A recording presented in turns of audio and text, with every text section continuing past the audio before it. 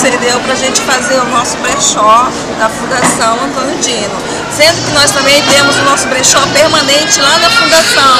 Se quiserem nos, é, nos visitar lá, todos os dias a gente estamos lá pela parte da manhã vendendo nossas peças. Independente daqui, a gente aguarda a visita de vocês também lá.